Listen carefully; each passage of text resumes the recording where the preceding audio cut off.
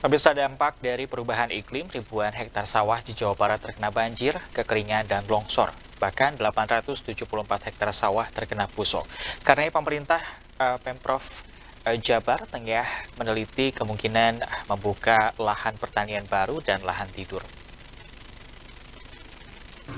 Terungkap usai rapat terkait pangan di Gedung Sate Kota Bandung, setidaknya 6.299 hektar lahan sawah di Jawa Barat terkena banjir, kekeringan, longsor, dan 874 hektar puso akibat dampak perubahan iklim. Hal tersebut terutama terjadi di Kabupaten Subang, Kabupaten Karawang, Kabupaten Cirebon, dan Kabupaten Ciamis. Agar produksi beras tahun ini minimal sama dengan tahun lalu, pemerintah Provinsi Jawa Barat tengah meneliti kemungkinan membuka lahan baru. Banjir bencana gitu. Alternatif untuk membuka eh, lahan-lahan eh, baru dari lahan-lahan kemudian sudah tidak dipakai.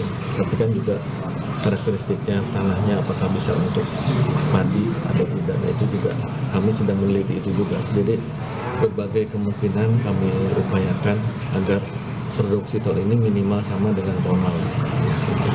Sementara itu, menurut Kepala Dinas Tanaman Pangan dan Hortikultura Jawa Barat, Dadan Hidayat, Pihaknya pun mencoba menginventarisasi potensi lahan sawah tada hujan dan pompanisasi. Menurutnya Jawa Barat memiliki potensi 300 ribuan hektar sawah tada hujan. Juga kita akan mencoba menginventarisasi potensi lahan tada hujan, lahan sawah tada hujan dengan pompanisasi. Kalau itu kita sudah punya data ke 300 ribu hektaran.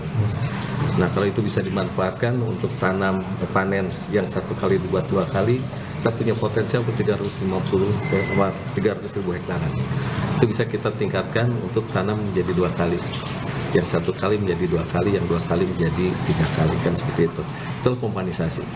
Ya, ini programnya Kementerian Pertanian bekerja sama dengan TNI juga, bekerja sama provinsi dan bekerja sama dengan pemerintah kabupaten.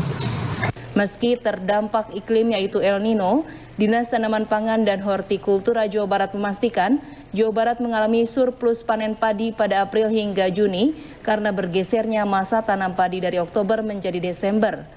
Pada April 2024, Jawa Barat akan panen setidaknya 5,7 ton gabah kering giling per hektar dari 200 ribuan hektar lahan sawah.